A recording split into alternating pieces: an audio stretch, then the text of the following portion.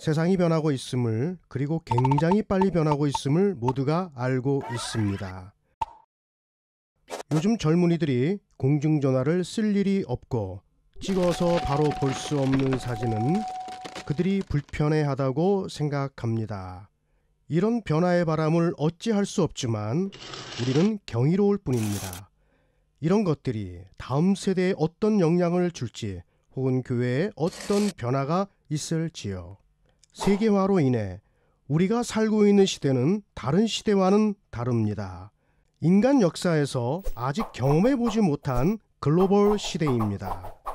국제 컨벤션에 속한 반뱅 부디잔토 박사입니다. 젊다는 것은 더 글로벌하다는 말입니다. 왜냐하면 전 세계적으로 연결되어 있기 때문입니다.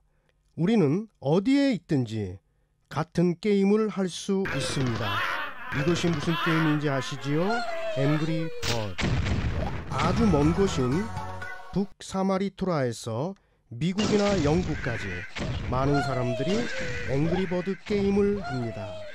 벤방 박사는 세계 속의 그리스도의 몸으로서의 어린이와 청소년들의 역할에 대하여 열정을 가지신 분입니다. 세계화 추세의 큰 유익은 로마 제국이 세계를 통치할 때에 한 문화를 가지게 했던 것과 같습니다. 이 한 문화를 통하여 기독교는 200년 동안 온 세상에 전해졌습니다. 기독교의 전파는 노예들을 포함한 예루살렘의 아주 작은 교회로부터 시작되었습니다. 단 200년 만에 온 세계가 복음을 듣게 되었습니다. 바로 이 하나의 글로벌 문화가 로마 제국에 의하여 소개되었기 때문입니다. 역사적으로 말하면 로마 문화의 확산에 중추적 역할을 한 것은 그들이 만든 교통로인 것입니다. 이런 사회 간접 자본의 구조에서 보면 근대 테크놀로지는 로마의 길들처럼 엄청난 영향력을 가집니다. 우리는 이 같은 것을 다시 경험할 수 있습니다. 바로 이런 하나의 글로벌 문화는 어른들보다는 어린이들에게 더욱 효과가 있습니다.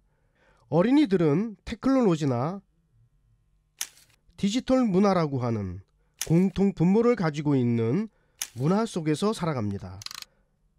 바로 이런 공간이 복음을 나눌 수 있는 중요한 플랫폼의 문화입니다. 그래서 그분이 말씀하시는 것은 우리가 세계적으로 연결되었기에 과거보다 복음으로부터 격리되어 있는 수많은 사람에게 예수님의 사랑을 전하기가 쉬워졌다라고 하는 것입니다. 지금 어린이들이나 청소년들보다 더 자연적으로 복음을 전할 수 있도록 준비된 사람은 없습니다.